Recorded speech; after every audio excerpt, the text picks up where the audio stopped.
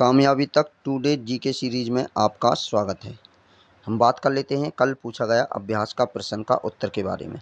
निम्नलिखित में से कौन सा इंडोनेशिया का सबसे प्रसिद्ध पश्चिमी द्वीप है? ऑप्शन ए, जावा द्वीप, option B, Lombok, option C, Sumatra, option D, Bali. तो इसका उत्तर है ऑप्शन सी, सुमात्रा।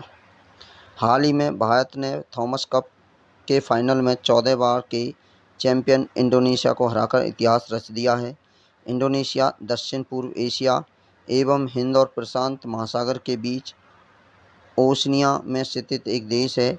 इसमें सत्रह हज़ार से अधिक द्वीप हैं, जिसमें सुमात्रा सुलावेसी जावा आदि प्रमुख हैं। इंडोनेशिया का सबसे पश्चिम, पश्चिमी और दूसरा सबसे बड़ा द्वीप सुमात्रा है, इसलिए विकल्प सी सही है। आपको बता दें कि सुमात्रा दुनिया का छठा सबसे बड़ा द्वीप है तो हमारे इस अभ्यास प्रश्न का उत्तर हो गया ऑप्शन सी सुमात्रा। आज की सीरीज़ का पहला प्रश्न, नेपाल निम्नलिखित में से किन भारतीय राज्यों के साथ सीमा साझा करता है? एक उत्तराखंड, दो सिक्किम, तीन पश्चिम बंगाल। दिए गए कूट का प्रयोग कर सही उत्तर चुनिए। ऑप्शन ए केवल एक और दो, ऑप्शन बी केवल दो और तीन, ऑप्शन सी केवल एक और तीन, ऑप्शन डी एक, दो, तीन। तो इसका उत्तर है ऑप्शन डी एक, दो और तीन। हाल ही में भारत के प्रधानमंत्री ने बुद्ध जयंती के अवसर पर गौतम बुद्ध की जन्म सतली, लुम्बिनी, नेपाल की यात्रा की। नेपाल भारत का एक महत्वपूर्ण पड़ोसी देश है, जिसका क्षेत्रफल एक सौ वर्ग किलोमीटर और आबादी लगभग उनतीस मिलियन है। नेपाल पाँच भारतीय राज्यों, उत्तराखंड, उत्तर प्रदेश, बिहार, पश्चिम बंगाल और सिक्किम के साथ लगभग 1850 किलोमीटर की सीमा साझा करता है। इसलिए विकल्प डी सही है। तो हमारे इस प्रश्न का उत्तर हो गया ऑप्शन डी, एक, दो और तीन। अगला प्रश्न, हाल ही हाल ही में समाचारों में रहा एंडोसल्फान एंडोसल्फान क्या है? ऑप्शन ए कोविड नाइन्टीन की दवा। ऑप्शन बी, मलेरिया का मलेरिया का पहला टीका। ऑप्शन सी, कीटनाशक। ऑप्शन डी, कपड़ा उद्योग में प्रयुक्त रासायन। तो इसका उत्तर है ऑप्शन सी, कीटनाशक। हाल ही में सुप्रीम कोर्ट ने एंडोसल्फान कीटनाशक पीड़ितों के लिए कोई कदम न उठाने के लिए केरल सरकार को फटकार लगाई है।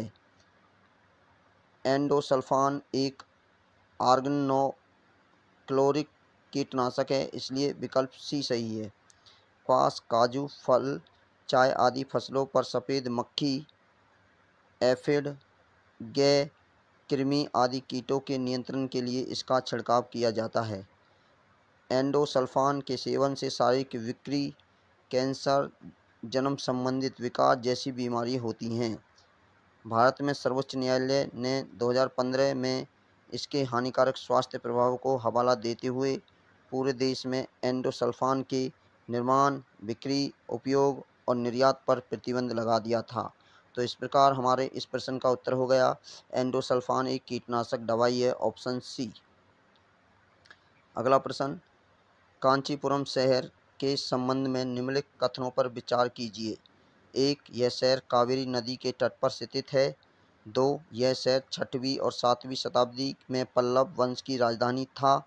उपयुक्त कथनों में से कौन सा या से सही नहीं है या हैं? ऑप्शन ए, केवल एक। ऑप्शन बी, केवल दो। ऑप्शन सी, एक और दो दोनों ऑप्शन डी, न तो एक, न ही दो। तो इसमें से ऑप्शन ए सही है, केवल एक गलत है। कांचीपुरम तमिलनाडु के उत्तरी पूर्वी तट पर स्थित है, जो चेन्नई शहर से सटा हुआ है। कांचीपुरम अपनी राजसी मंदिर, वास्तुकला और रेशम की साड़ियों के लिए प्रसिद्ध है। यह शहर बेगावती नदी के तट पर स्थित है, इसलिए कथन एक सही नहीं है। पल्लवों ने इस क्षेत्र को छठवीं और सातवीं शताब्दी के बीच अपनी राजधानी बनाया था, इसलिए कथन दो सही है। तो हमारे इस प्रकार इस हमारे इस प्रश्न का उत्तर हो गया, ऑप्शन एक गलत है। यह कावेरी नदी नहीं, यह बेगावती नदी के किनारे है। तो अगला प्रश्न, यमुना नदी प्रणाली के जल ग्रहण क्षेत्र में निम्नलिखित में से कौन से राज्य शामिल हैं? एक, राजस्थान, दो, मध्य प्रदेश, तीन, हिमाचल प्रदेश, चार, उत्तराखंड। दिए गए कूट का प्रयोग कर सही उत्तर चुनिए। ऑप्शन ए, केवल एक, तीन और चार। ऑप्शन बी, केवल दो और तीन। ऑप्शन सी, केवल तीन और चार। ऑप्शन डी, एक, दो, तीन और चार। तो इसका उत्तर है ऑप्शन डी, एक, दो, तीन और चार। यमुना के घटते जल स्तर के कारण हाल ही में विभिन्न जल उपचार संयंत्रों में जल उत्पादन में लगभग 25 परसेंट की गिरावट आई है। यमुना नदी, गंगा नदी की एक प्रमुख सहायक नदी है। यमुना नदी प्रणाली का जल ग्रहण उत्तर प्रदेश, उत्तराखंड, हिमाचल प्रदेश, हरियाणा, राजस्थान, मध्य प्रदेश और दिल्ली राज्यों के कुछ हिस्सों को कवर करता है। इसलिए विकल्प डी सही है। इसकी महत्वपूर्ण सहायक नदी में चंबल, सिंध, बेतवा, कैन आदि शामिल हैं। तो इस प्रकार हमारे इस प्रश्न का उत्तर हो गया। ऑप्शन डी एक, दो, तीन और चार। अगला प्रश्न, भारत का बावनवा टाइगर रिज़र्व, रामगढ़ विषधारी निम्नलिखित में से किस राज्य में स्थित है? Option A, Rajasthan, option B, Karnataka, option C, Maharashtra, option D, Uttar Pradesh. तो इसका उत्तर है ऑप्शन ए, राजस्थान। हाल ही में रामगढ़ विषधारी वन्यजीव अभ्यारण्य को टाइगर रिज़र्व के रूप में अधिसूचित किया गया है।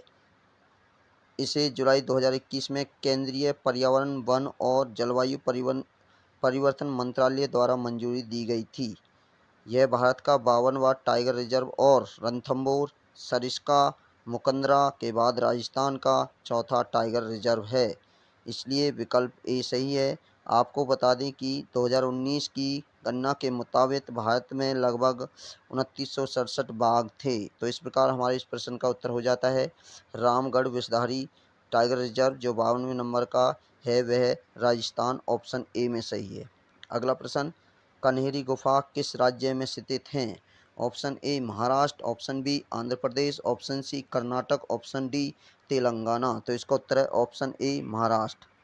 केंद्रीय पर्यटन, संस्कृत और पूर्वोत्तर क्षेत्र विकास मंत्री श्री जी किशन रेड्डी ने बुद्ध पूर्णिमा के अवसर पर कनेरी गुफाओं का उद्घाटन किया। कनेरी गुफा, महाराष्ट्र के संजय गांधी राष्ट्रीय उद्यान बोरीवली के जंगलों में स्थित हैं। इसलिए विकल्प ए सही है। कनेरी गुफाओं में 110 से अधिक विभिन्न रॉक कट, मोनोलिथिक उत्खनन शामिल हैं।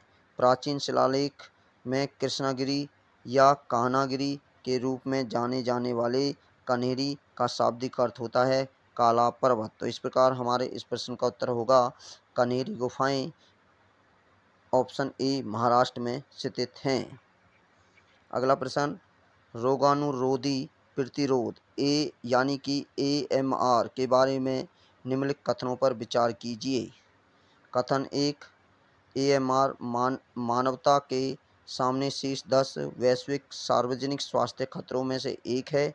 दो, रोगानुरोधी में केवल एंटीबायोटिक और एंटीवायरल शामिल हैं। उपयुक्त में से कौन सा या से कथन सही है या हैं? ऑप्शन ए, केवल एक। ऑप्शन बी, केवल दो। ऑप्शन सी, एक और दो। ऑप्शन डी, न तो एक नहीं दो। तो इसका उत्तर है ऑप्शन सी, एक और दो दोनों। जैव विविधता हॉटस्पॉट के रूप में आहता प्राप्त करने के मापदंड में शायद प्रश्न गलत हो गया है। चलो इसे बता देते हैं। हाँ प्रश्न गलत हो गया तो इसका जो आंसर होगा, वो होगा ऑप्शन सी। इसका विश्लेषण नहीं। तो अगला प्रश्न है, जैव विविधता हॉटस्पॉट के रूप में अहाता प्राप्त करने के मापदंड में शामिल है। एक, इसमें स्थानिक रूप से कम से कम पंद्रह सौ संवहनी पौधे होने चाहिए। दो, ये अपनी प्राथमिक देसी वनस्पतियों को का काम कम से कम सत्तर परसेंट खो चुके हैं। उपयुक्त में से कौन सा या से कथन सही है या हैं? ऑप्शन ए, केवल एक। ऑप्शन बी, केवल दो। ऑप्शन सी, एक और दो। दोनों। ऑप्शन डी, न तो एक नहीं दो। तो इसका उत्तर है ऑप्शन सी। तमिलनाडु का नजरायन टैंक पक्षी अभ्यारण्य। तिरुपुर ज़िले में से एक संरक्षित पक्षी बिहार हॉटस्पॉट है। इसमें 25 अप्रैल को तमिलनाडु के सत्रहवें पक्षी अभ्यारण्य के रूप में घोषित किया गया था। यह पृथ्वी के सबसे जैविक रूप में समृद्ध अभी तक खतरे वाले सतलीय क्षेत्र हैं। विश्व भर में 36 मान्यता प्राप्त जैव विविधता हॉटस्पॉट हैं। भारत में चार जैव विविधता हॉटस्पॉट हैं, पश्चिमी घाट, हिमालयन इंडो बर्मा और सूडान। जैव विविधता हॉटस्पॉट के रूप में अर्हता प्राप्त करने के लिए एक क्षेत्र को दो सख्त मापदंडों को पूरा करना होगा। पहला संवहनी पौधों की कम से कम 1500 शतानिक प्रजातियाँ शामिल हों, इसलिए कथन एक सही है। दूसरा, अपनी प्राथमिक देसी वनस्पति को कम से कम 70 परसेंट खो चुके हों, इसलिए कथन दो सही है। तो इस प्रकार हमारे इस प्रश्न का उत्तर हो गया ऑप्शन सी, एक और दो दोनों। अगला प्रश्न, भारतीय दूरसंचार नियामक प्राधिकरण है। ऑप्शन ए, कार्यकारी निकाय, ऑप्शन बी, सान, सांविधिक निकाय, ऑप्शन सी, संवैधानिक निकाय, ऑप्शन डी, इसमें से कोई नहीं। तो इसका उत्तर है ऑप्शन बी, सांविधिक निकाय। प्रधानमंत्री ने आज भारतीय दूरसंचार नियामक प्राधिकरण बोले तो ट्राई के रजत जयंती समारोह के अवसर पर आयोजित कार्यक्रम को संबोधित किया। ट्राई की स्थापना एक अधिनियम द्वारा की गई। जिसे भारतीय दूरसंचार नियामक प्राधिकरण अधिनियम उन्नीस कहा जाता है। इस प्रकार एक, यह एक वैधानिक निकाय है, इसलिए विकल्प बी सही है। यह दूरसंचार सेवा को नियंत्रित करता है, जिसमें दूरसंचार सेवाओं के लिए ट्रैफ़िक का निर्धारण, संशोधन की भी शामिल है। तो इस प्रकार हमारे इस प्रश्न का उत्तर हो जाता है ऑप्शन बी, सावंधिक निकाय। अगला प्रश्न, थोक मूल्य सूचकांक किसके द्वारा जारी किया जाता है?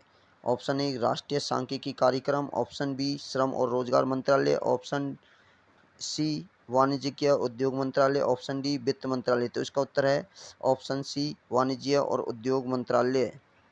हाल ही में जारी आंकड़ों के मुताबिक अप्रैल 2022 के लिए मुद्रा मुद्रास्फीति की वार्षिक दर 15.08 परसेंट थी, जबकि अप्रैल 2021 में यह 10.74 परसेंट थी। उच्च मुद्रास्फीति मुख्य रूप से कच्चे पेट्रोलियम और प्राकृतिक गैस खाद्य वस्तुओं और रासायनिक उत्पादों उत्पादों आदि की कीमतों में वृद्धि के कारण बनी हुई है। थोक मूल्य सूचकांक, उद्योग और आंतरिक व्यापार संवर्धन विभाग के आर्थिक सलाहकार कार्य, कार्यालय द्वारा जारी किया जाता है। D P double I T वाणिज्य उद्योग मंत्रालय का एक महत्वपूर्ण विभाग है, इसलिए विकल्प सी सही है। तो इस प्रकार हमारे इस प्रश्न का उत्तर हो जाता है वाणिज्य और उद्योग मंत्रालय। अब हम बात करते हैं आज का अभ्यास प्रश्न। तो अभ्यास प्रश्न क्या है? क्रूज सम्मेलन 2022 का आयोजन निम्नलिखित में से किसके द्वारा किया गया है? ऑप्शन ए, रक्षा मंत्रालय। ऑप्शन बी, बंदरगाह। नौवहन और राजमार्ग मंत्रालय। Option C, NITI Aayog. Option D वाणिज्य और उद्योग मंत्रालय। इसका उत्तर आप हमें कमेंट बॉक्स में ज़रूर दें। और वीडियो अच्छी लगी हो तो वीडियो को शेयर करें, लाइक करें और इसका आंसर हमें कमेंट बॉक्स में ज़रूर दें। जब तक के लिए आप सुरक्षित रहें पढ़ते रहें, कल मिलते हैं अन्य नए प्रश्नों के साथ।